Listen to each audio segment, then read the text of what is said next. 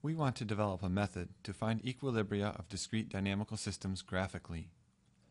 But first, let's think about the more general problem of how to solve an equation graphically. As a warm-up, let's think of this word problem. I'm thinking of a number. It is the same as that number squared. What are the numbers I could possibly be thinking of? It's not too difficult to just come up with the answers. The number 1, if you square it, gives you 1 back. So I could have been thinking of the number 1. Similarly, the number 0 is the same as 0 squared. I must have been thinking of either 0 or 1. But let's imagine that you couldn't figure out the answer to this problem right away. How do we set up a math problem to calculate the answer? One method is to solve this problem analytically, meaning we could write an equation with variables and then solve that equation. Let f be the squaring function, i.e. define f of x equals x squared. The number x could be the answer to the word problem if x equals f of x, i.e. if x equals x squared. Do you know how to solve this equation to find all possible values of x? We could subtract x from both sides so that one side is 0. We get the equation 0 equals x squared minus x. Next, we can factor by pulling out the common factor x. Our condition becomes 0 equals x times the quantity x minus 1. We have a product of two factors equal to 0. One of the factors must be 0, either x equals 0 or x minus 1 equals 0. Our possible answers are x equals 0 or x equals 1. Of course, we knew that already. Another way to solve this problem is to use a graphical approach. We could make a graph of y versus x. Let's graph the function y equals f of x in green. Since f of x equals x squared, we get a parabola. Here's a neat trick. We are looking for the condition where both the input and output of f are equal. So let's plot another line on the graph the line where x and y are equal. We can call this line the diagonal, as it is a diagonal line through the origin. The graph of y equals f of x, or y equals x squared, is the set of points x comma y, where y equals f of x. This means that if the point x comma y is on the graph of f, then its y-coordinate is the square of its x-coordinate. The graph of the diagonal, y equals x, is the set of points x comma y where y equals x. This means that if the point x comma y is on the graph of the diagonal, then its y-coordinate is equal to its x-coordinate. Notice there are two points where the two graphs intersect. At these points, the input of f and the output of f are the same because the graph of f lies along the diagonal. Or to think of it another way, for these points we know that both y equals x squared and y equals x. Substituting y equals x into y equals x squared gives us x equals x squared. That looks familiar. That's the equation we solved earlier. The points that lie on both the graph of f and on the diagonal give us the solution to our problem. These points are 1, comma 1 and 0, comma 0. Their x-coordinates are x equals 1 and x equals 0. These numbers x are the same as their squares x squared. The nice part about this graphical approach is that once I have the graph of f, I don't need its formula anymore. If I just had the plot of f, along with a plot of the diagonal, I can read right off the graph those values of x for which the input and output of f are the same. I just find the points of intersection and determine their x-coordinates. How can we apply this idea to finding equilibria of dynamical systems? Let's imagine we had a dynamical system that squared the value of the state variable at each time step. Let's write this dynamical system as h sub t plus 1 equals h sub t squared, where h sub t is our state variable. Here we won't give the initial condition another name, but just leave it as h naught. We can rewrite the dynamical system in terms of our function f of x equals x squared as h sub t plus 1 equals f of h sub t. If we happen to start at a number h naught that was the same as its square, then this evolution rule wouldn't change the value of h naught.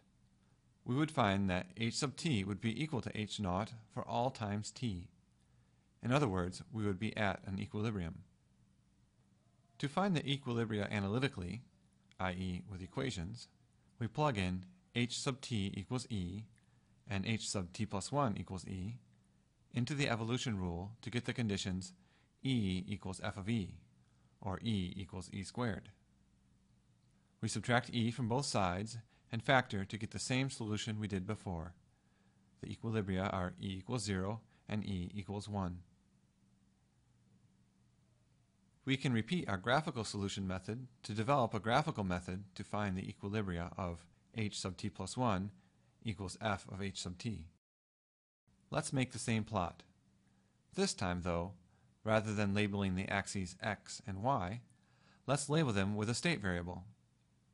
If we label the horizontal axis with the state variable at time t, i.e. with h sub t, then we can label the vertical axis with the state variable at the next time step, i.e. with h sub t plus 1. Now we have a plot of h sub t plus 1 versus h sub t.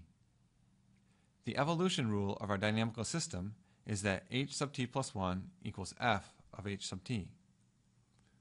We can plot this relationship by plotting the graph of f on these axes. Since f of h equals h squared, the graph is the same parabola we plotted before. The graph of f represents the evolution rule of our dynamical system. If we know the value of h at any time step, say time step t, we can use the graph of f to look up the value of h at the next time step, i.e. h sub t plus 1. We just start with the value of h sub t on the horizontal axis and move up or down to the graph of f. The height of the resulting point gives us the value of h sub t plus 1. For example, if h sub t equals negative 2, then we move up to the graph and find that the graph of f is at the height of 4. Therefore, h sub t plus 1 equals 4. That makes sense. The rule is to square the state variable at each time step, and the square of negative 2 is 4. How do we use this graph to find equilibria? We use the same trick as before. We plot the diagonal. This time the formula for the diagonal is h sub t plus 1 equals h sub t but it looks just like the previous plot. The diagonal shows us what the evolution rule would look like if nothing ever changed. If we started at any value of h sub t on the horizontal axis and went up or down to the diagonal, we would always end up at a point whose vertical component is exactly the same as the horizontal component we started with. The rule implied by the formula h sub t plus 1 equals h sub t for the diagonal is a very boring rule. Our dynamical system, though, doesn't follow the rule from the diagonal. It follows the rule represented by the graph of f. However, at the points where the graph of f intersects the diagonal, our dynamical system gives the same result as the diagonal. These are the points where f does not change its inputs. These points represent the equilibria. If we label an equilibrium by E, then the coordinates of the intersection points are E, E. To find the equilibria from the intersection points, we just read off one of the components. In our case, we have two intersection points, 0, 0 and 1, 1. From these two points, we see that the equilibria are E equals 0 and E equals 1. Given the graph of f, we don't even need its formula to determine that these are the equilibria. Let's say we started with the initial condition h naught equals 1. To find the value of h sub 1, we could look up the value of the function above 1. We see that f takes on the value 1, so that h sub 1, which is f of h naught, or f of 1, is equal to 1. If we repeated this process to find h sub 2 equals f of h sub 1, we would again find that h sub 2 equals 1. The dynamical system is not changing the value of h. It would stay at h sub t equals 1 forever.